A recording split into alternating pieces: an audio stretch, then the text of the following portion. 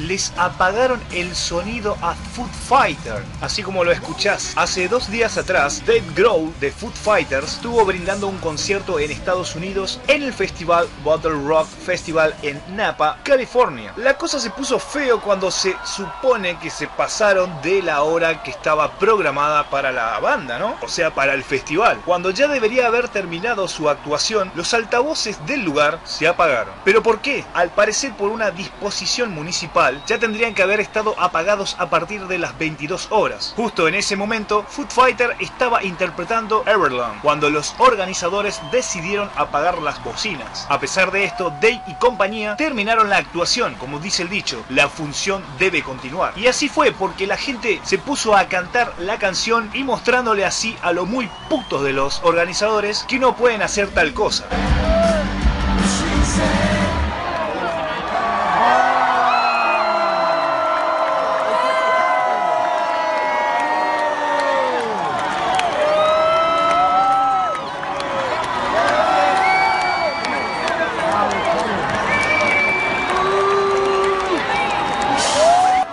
¿Y ustedes qué opinan, público? Déjenme saberlo en la caja de comentarios de manera respetuosa.